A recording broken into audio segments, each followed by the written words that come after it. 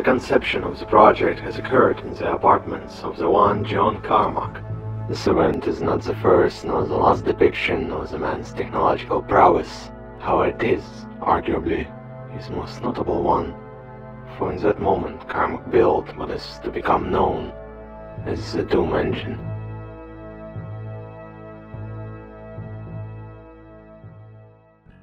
That's right, guys. Today we're covering none other than the granddaddy of all first-person shooters, the 1993 classic Doom. In addition to being one of the most important games ever created, Doom is known for being surprisingly playable for an old game. Astonishingly playable to be honest. Like you can pick it up right now and it will be fun to play. Ah, and don't even get me started on Doom 2, because this game is so goddamn good, I pray to it every once in a while. However, I just see no point in reviewing it without covering Doom 1 first, so I hope this clears out any confusions that you might have had. To be honest, I'm much more interested in why I want you to review Wolfenstein 3D. Wouldn't it make much more sense to review it first and then, after you've covered all the basics, tackle the much more sophisticated design of Doom? Yeah, I guess so. So why aren't you doing it then? Because I hate Wolfenstein 3D, okay? I hate this game so much, I just don't want to play it again. I've spent 12 hours beating every single level of this boring, dated, primitive piece of crap game and I'm not willing to put myself through that ever again. Oh wow, you really do hate this game, don't you? You know what? If we are being totally honest here, I actually think that Catacomb 3D was a better game than Wolfenstein. Okay, George, I get that you don't like Wolf 3D, but now you're pushing it way too far. I need you to think about what you are saying. Yeah, maybe I got a bit too carried away with that. But anyway, let's play Doom already. I haven't played this game in quite some time and I remember it being quite difficult, so let's start with the easiest difficulty.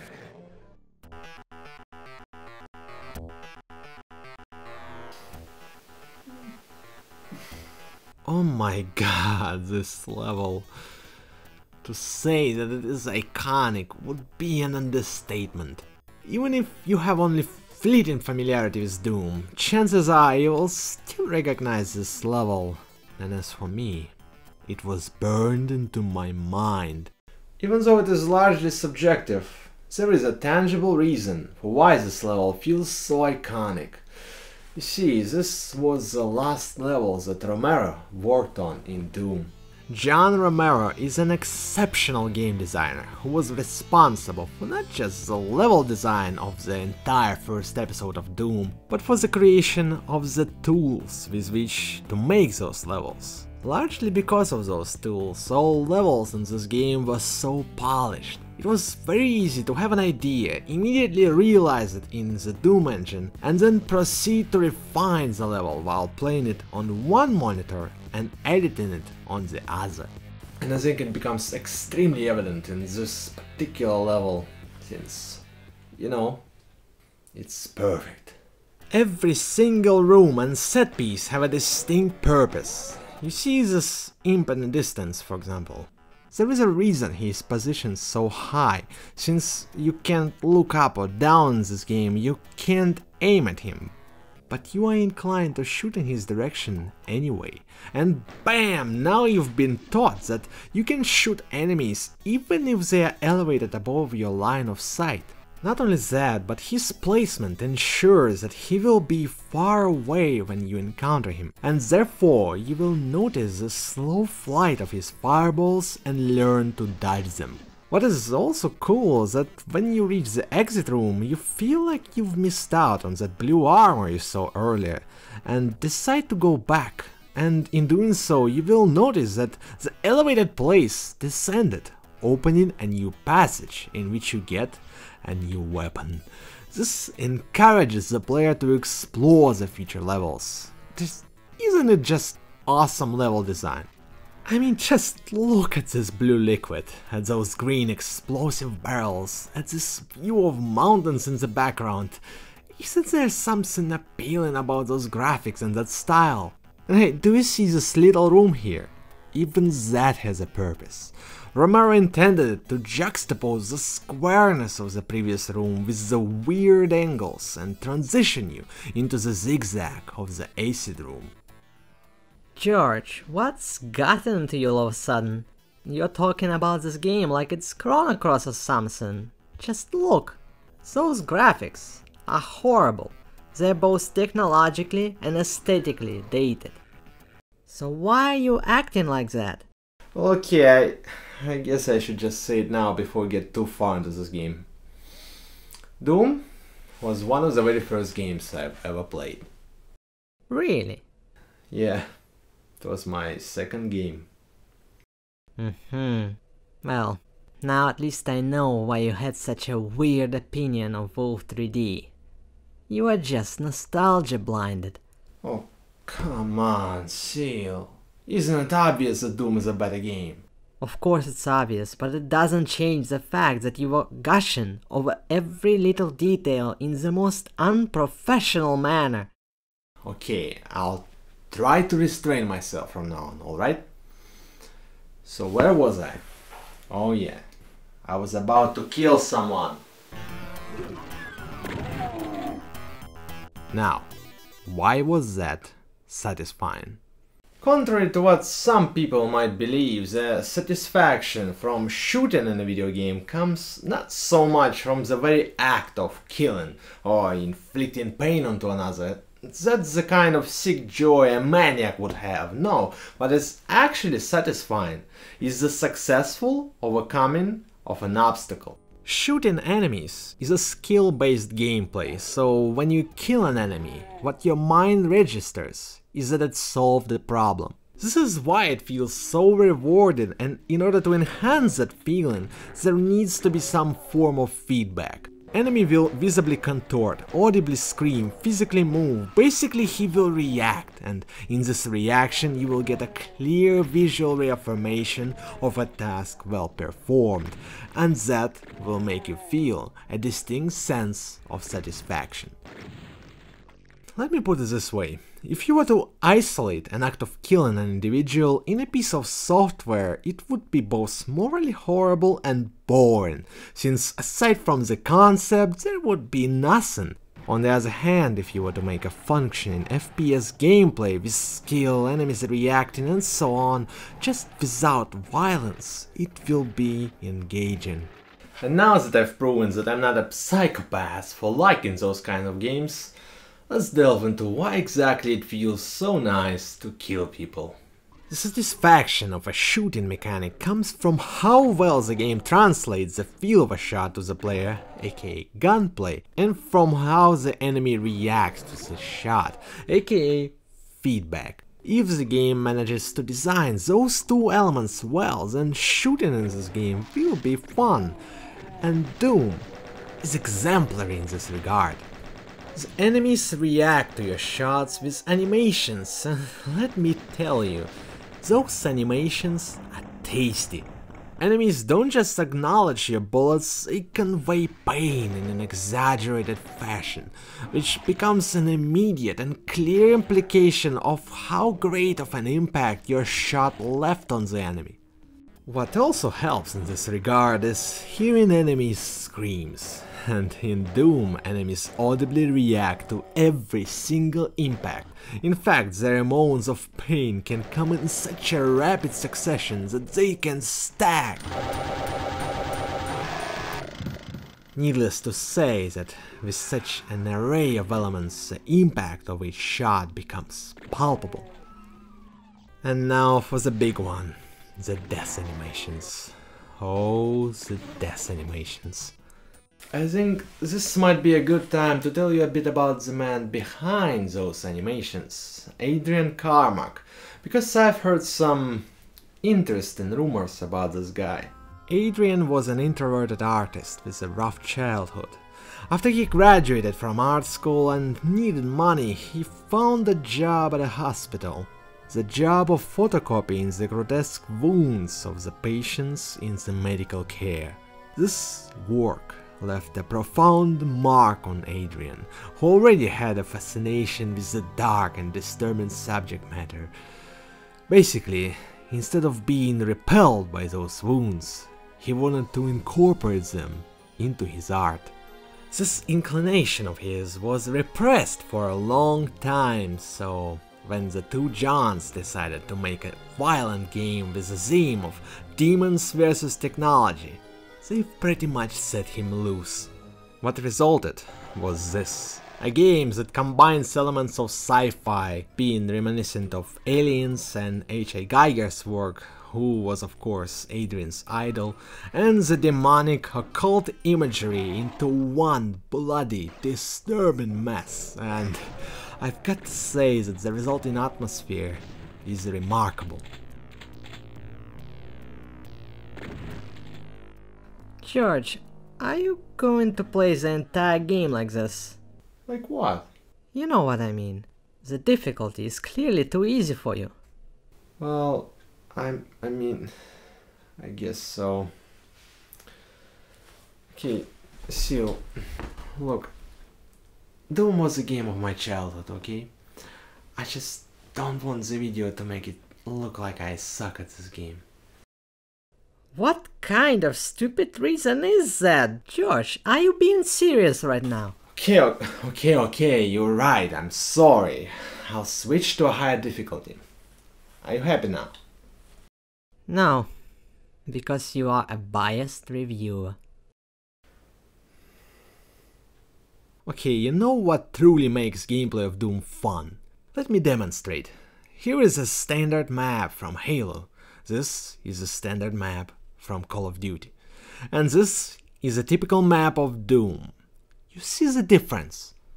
The levels are big and complex. They are not just strings of events through which the developers drag the player while providing him with as little freedom as possible. No, there are always different ways to go and many secrets to uncover, which makes those levels feel almost non-linear. I mean, look at the one with this big open space, or at the level with the crate maze in the middle. By the way, this warehouse was originally started by Tom Hall, who eventually left it due to creative conflict that arose between him and the team. He wanted Doom to be a story-driven experience with involving and thoughtful gameplay, and in his design document, which he entitled The Doom Bible, you can see that he basically wanted to make a System Shock. The problem was that in doing so, he kind of sacrificed fun to realism. Which is why when Romero designed his level editor and was starting to work on his abstract levels that prioritized fun, the team, especially Carmack, chose to side with Romero and went in the direction of pure, unapologetic fun. The result is definitely worth it. Fundamentally, every level in Doom is a maze. And it might sound boring, but it is incredibly fun to play those levels, especially considering how fast-paced the gameplay is. Which of course revolves around navigating the level in search of an exit while defeating enemies that stand in your way. During those encounters, you will inevitably take damage or waste ammo, so since in Doom, unlike many modern shooters, health doesn't self-replenish, you will have to find items to stay alive. This is what I like to call the conventional health system, and it fits the maze-like level design of Doom like a glove.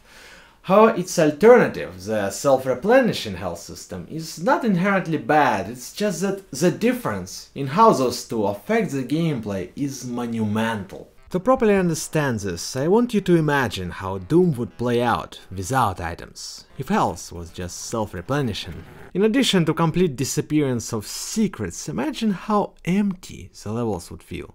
They would literally lose any significance and become just backdrops to the fights. That is why it was so essential to fill them with content and to encourage the player to explore them with the clear gameplay-wise benefit. Or even better, a clear need. In Halo or COD there is no such need since these games are not about levels. They are about situations that the game puts you in. That is why the necessity in having to fill the levels with items disappears. In fact, it would be a burden, and worsen the games overall if they had conventional health systems, cause they actually have pacing. There is usually a moment of calm in which you just run through corridors and stuff, but then you are thrown into a room with tons of enemies and an entire orchestrated situation that is designed to be challenging. Imagine if you had to go through this situation with 10% of health left.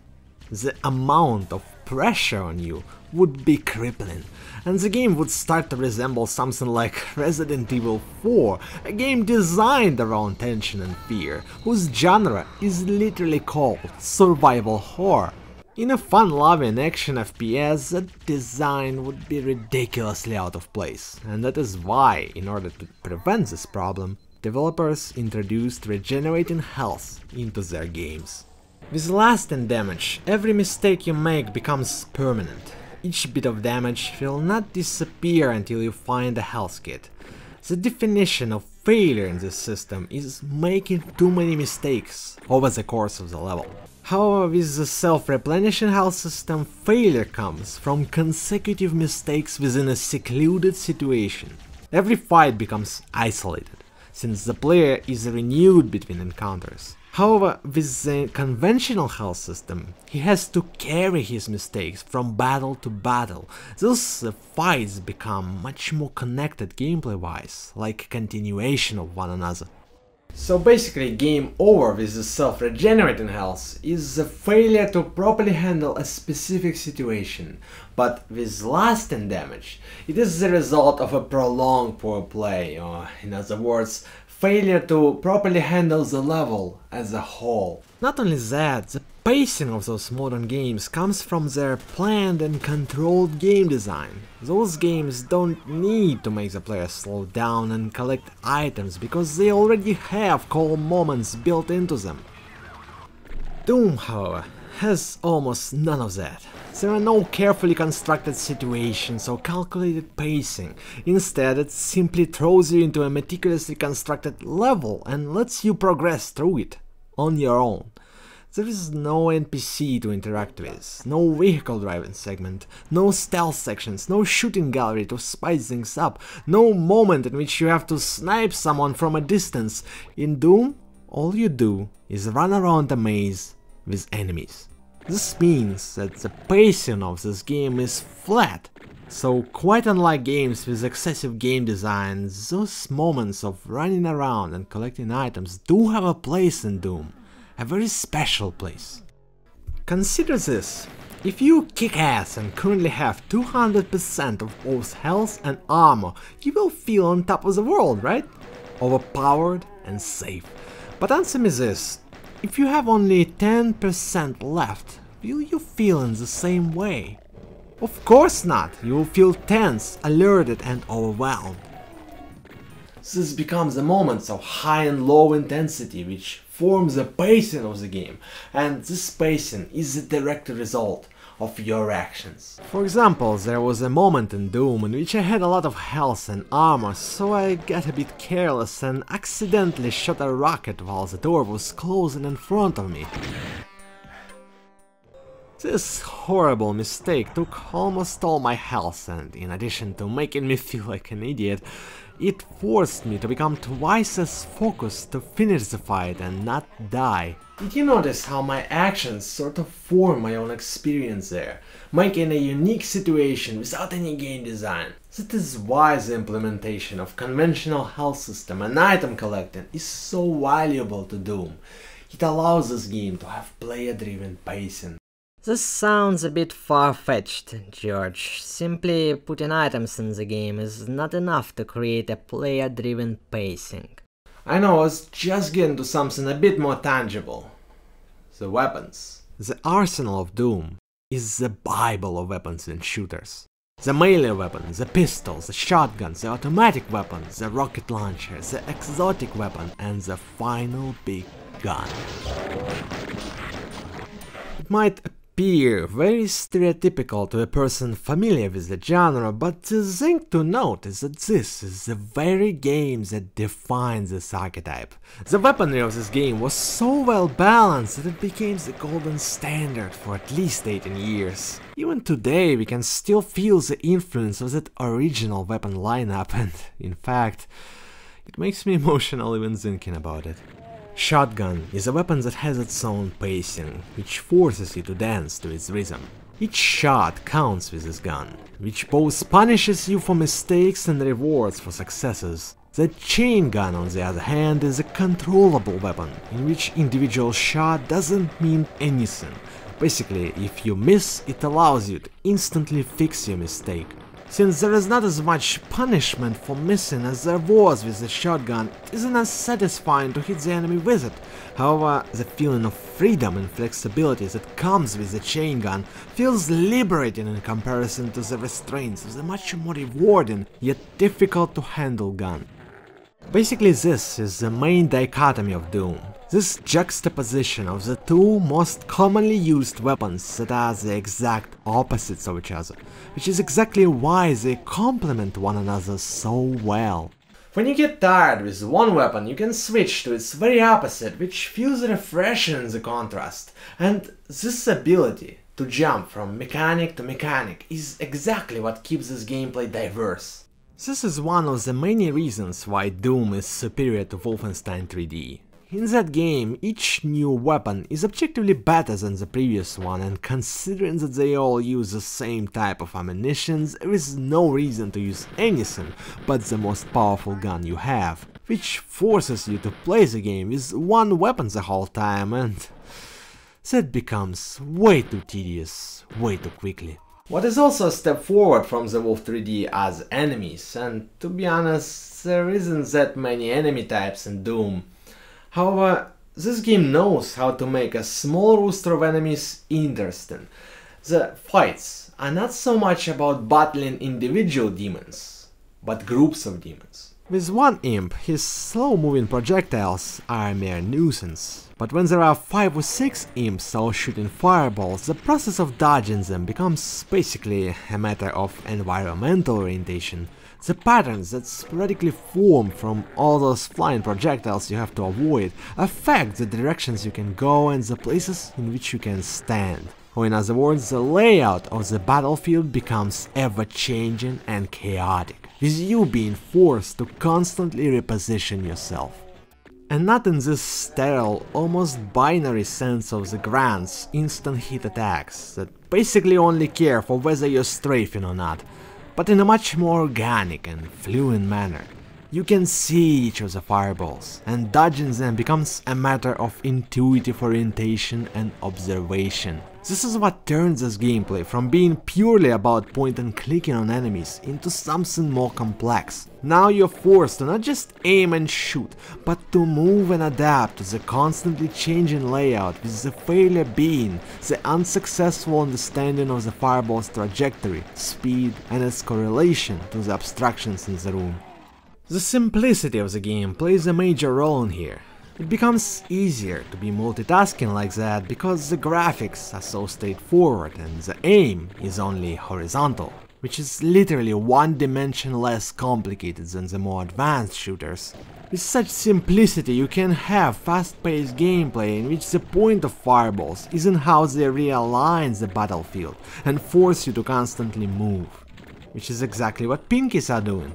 They move directly towards you to inflict melee damage and considering how fast you can move, the only way they can achieve that is if you make a mistake.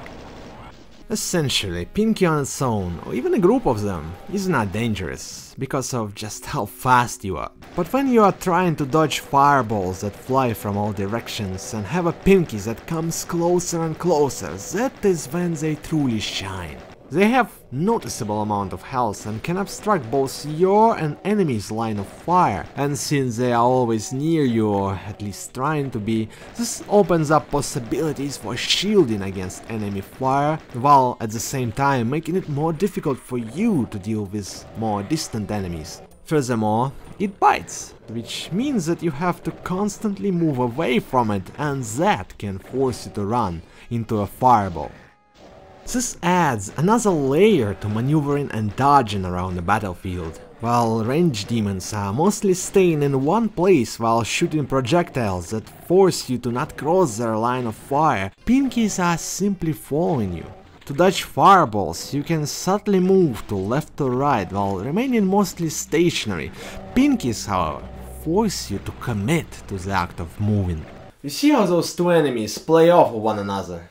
This is exactly how each enemy was designed in this game, so that it could team up with any other demon. Think of enemy types as building blocks, out of which the game creates various patterns to throw at you. And these patterns are diverse. It can make you fight a group of grunts and imps surrounding a cacodemon, it can make you fight floating skulls while dealing with barons, the list goes on and on. And because each enemy is so specific in his role, even fluctuations in numbers can make up for an entirely different encounter. If there is a group of imps and grunts, whether there are more grunts or imps determines the way the fight plays out. This is how the game maintains variety and prevents itself from becoming overly repetitive you know each enemy individually. So when the game throws a pattern of those familiar enemy types at you, you sort of figure out how to deal with this pattern based on your familiarity with those basic enemy types. What it all means is that when you enter a room filled with enemies, you immediately know what to do and how to win, without even thinking about it. Yet the battle that ensues still manages to be engaging. Okay, wait a second. You know what, Seal? I think I should switch to ultra violence difficulty. I know I'll probably regret that, but I just wanna give it a go. Sure, go for it. It's your show after all.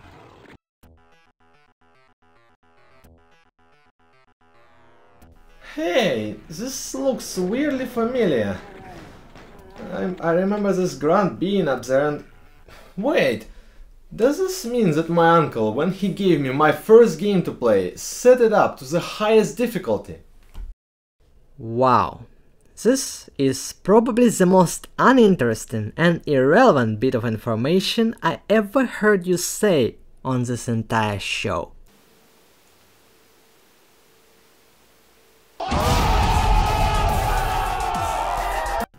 By now I've reached the final episode and at this point the level design of Doom went from good to ingenious.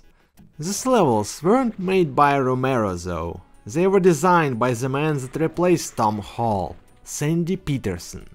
While Romero was focused on designing levels that would feel deliberate and involving, basically trying to make each level a coherent experience, Sandy was designing with broad strokes. His levels are bolder, bigger in scope and borderline experimental. He made some of the most ambitious choices in his levels, in fact going as far as to create the very first, ever, rocket jump. And not on accident like it did in Quake, but deliberate.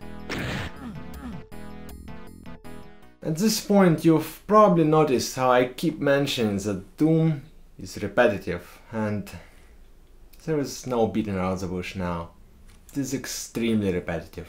Doom rarely introduces anything new. It relies on the established mechanics with just enough variety to prevent the player's boredom.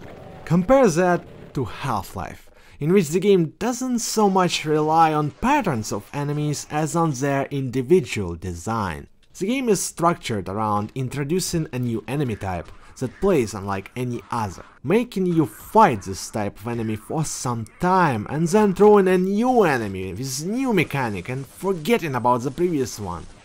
Doom, in comparison, is stale, and in addition to making you fight same enemies over and over again, the enemies themselves don't differ that fundamentally when you think about it. There are no hunters, elites, flood, and the monumental difference between how you fight these enemies. In fact, it all sounds extremely similar to Wolfenstein 3D. In it, we too run around killing the same enemies with the same guns while collecting the same items. Yet there is something that elevates Doom above its predecessor. Let's look at enemies for instance. In both Doom and Wolfenstein there is a very limited array of enemies, but in Doom each enemy type is distinct. Instead of making you use one weapon the whole time, Doom inclines you to use different guns. Furthermore, in Wolf 3D there is only one parameter to worry about, while in Doom you not only have armor added to the mix, but can increase your stats to 200% of the norm. And lastly, even though the environments all look similarly, each level has a unique identity. I feel like you can look at all this rationally and say that Doom is basically Wolfenstein 3D, just with more content. And yes, it is.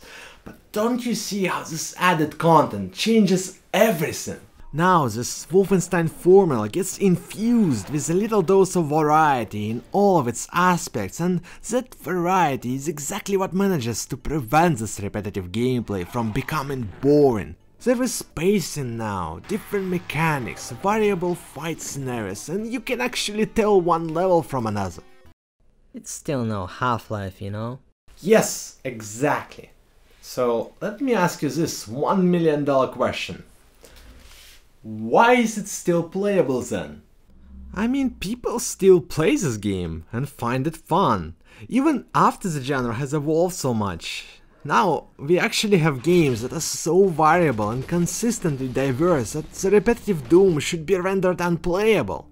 But it is not only still popular, there is an actual demand for this type of gameplay. There are games like Serious Sam, Painkiller and even the new Doom, all of which were successful mind you, in which the developers try to go back and recapture this old style. This raises the question, why? I actually have a theory concerning this, and Seal, I want you to listen to it and just keep me in check, alright? Just in case my theory will be too far out there. Oh sure, I'm actually curious as to what sort of thing your biased mind could have conjured up to defend its nostalgic bias. Oh come on! I believe that the reason why Doom stands the test of time is exactly because of all the things that the genre deemed outdated. The strength of Doom is its repetitiveness, its primitive graphics, its inability to look up or down, its lack of any coherent game design, those are all canonically considered to be flaws, which is why developers gradually removed them from their games. Yet in spite of what logic says, Doom is not inferior but simply different. It is a game that tries to get as close as possible to being boring, yet have just enough variety to remain engaging. And in doing so, it creates a repetitive gameplay that manages to be interesting without becoming overly involving, or in other words, mindless. And that mindless state opens up new possibilities. It allows Doom to create a game of pure gameplay, which feels more visceral and dynamic than almost any gaming industry ever produced. Did you notice how liberating it feels to play a game like Doom today? There are no rules aside from the self-explanatory ones, no objectives you need to keep in mind, no targets you need to avoid shooting at, no items you don't have to pick up. The game never introduces an enemy that you have to run away from or fight in a cryptic fashion. There are no puzzles or situations with cryptic solutions, you just run where you feel like. Shoot everyone you encounter, pick up everything you want until eventually you find an exit. It's a mindless, unrestrained gameplay that lets you simply play. This repetitiveness of gameplay adds a special quality to it, addictiveness. You become hooked on the system of Doom, the satisfaction of its basic mechanics as well as the little bit of variety that prevents the game from becoming boring draws you in and simply doesn't let you out. Mindless gameplay without any significant variety is impulsive and Doom embraces that. Its maze-like level design with the sole goal of finding an exit makes you act like a rat in a maze. And since the levels are abstract, there are no indications of where to go, nor any sort of understandable layouts that would make mazes feel even remotely comprehensible. There is nothing but your empiric, impulsive running there are no distractions or story or any other reason to actually turn your brain on, so you see, eh, Everything in this game is designed to incline the player to play mindlessly, to not think of anything, but simply act. And the result is this. A game that is thoughtless, fast, fun and addictive. A game that basically asks you to turn your brain off and become an animal for a while. An animal that operates on nothing but pure impulse. An animal that mindlessly runs toward his goal while killing everyone in his path and taking everything that he wants. And doing that with immense efficiency and speed. This is primal and primitive gameplay that manages through an impeccable combination of elements to become satisfying on the most carnal and basic level. And that is something that no Half-Life, Call of Duty or Halo could ever do, since they treat you like a thinking human being. But Doom treats you like nothing more than a rat in a maze. So, what do you think, Seal? Well, I'm not so sure about this whole animal business. But I agree about Doom being a mindless, fast-paced game with an addictive quality to it. If it wasn't for all this metaphorical fluff, I would say you weren't that far off. Well, I'm just glad that you think that I wasn't just completely wrong there. I mean, seriously, Doom is such a special game for me. Not just because it was one of the very first games that I've ever played. You see, Doom was the very game that got me into old games. So back in the late 2000s I was only playing modern games and even though I would often get interested in hearing about old titles I would never try them out for some reason. That was until eventually I got an inclination to revisit one of the oldest games that I remember, Doom. I was blown away. After playing modern shooters, to see something so raw and visceral like Doom was refreshing. But it wasn't just that, I was also shocked at how well designed it was. Like it was a genuinely good game, even in comparison to what I was playing the time. It was, as they say, a game that holds up after the years. After finishing Doom, I immediately decided to try out some other games that I loved as a kid and to my surprise quite a number of them was still fun to play.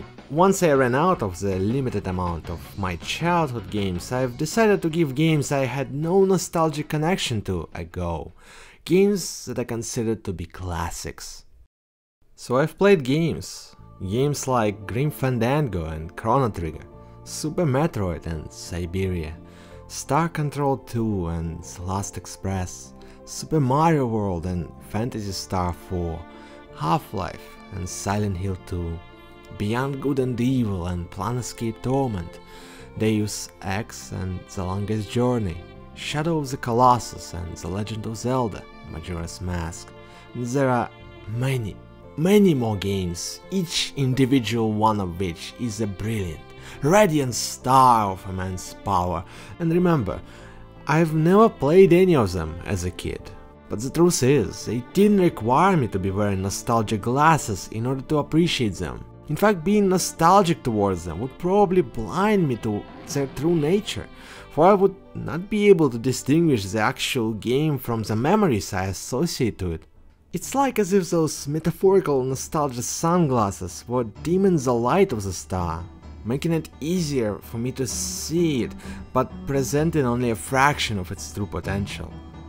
So when I looked at the star without any protection, without any cynicism or nostalgia clouding my mind, I was overwhelmed. I have lived in worlds that were so immersive, I would forget about the real one. I have experienced gameplays that was so engaging, I would not be able to keep the track of time. I've listened to stories that were not just emotional, deep or interesting, they were more than that. They were truthful. But most of all, I've played games that didn't just entertain me, but changed me, enriched my life in more ways than I could ever imagine. Games that basically made me into who I am today. Before all this, I was often saying stuff like, I'm still waiting for this definitive gaming masterpiece to come out, which would truly once and for all prove that games are an art form. Well, now I know at least 30 games that I can confidently consider great works of art, on par with the greatest works of cinema and literature. And it wasn't because I've waited long enough to see a new game worthy of being called a great work of art come out, but because I've looked back and saw every time it already happened. There is so much beauty in the world of games, so many titles that can make you feel emotions that you might never even believe games are capable of conveying. That tells stories that you might only expect from a masterful piece of literature, that create worlds so atmospheric there is literally nothing to even compare it to. And all of it would be lost to me if I were to keep thinking of those games as outdated or not as legit as modern games. But you see, true works of art do not age. They are timeless. Doom showed me what games are truly capable of, and for that, I can never thank it enough. So, you know, I've played Doom in the 90s, and I thought it was great when I didn't know any better. I've played it in 2000s, and I was shocked at how different it was to modern games. And even now, after I've played dozens upon dozens of shooters, both old and new, I still think that Doom is a great game. Right? Yeah, definitely. I don't think anyone would argue with that. Ah, okay. I was worried there for a second.